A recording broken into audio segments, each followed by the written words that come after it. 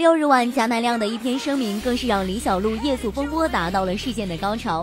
贾乃亮的文章让人非常心疼，也侧面证实了李小璐出轨。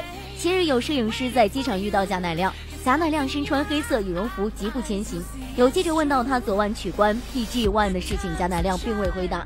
摄影师向贾乃亮问好，贾乃亮还回头点头回应。这个细节也说明贾乃亮非常有礼貌，为人处事很好。